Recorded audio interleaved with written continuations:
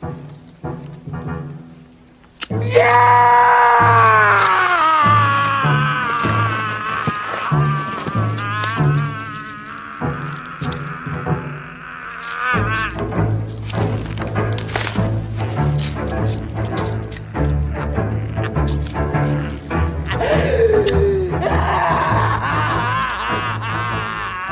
you bitch?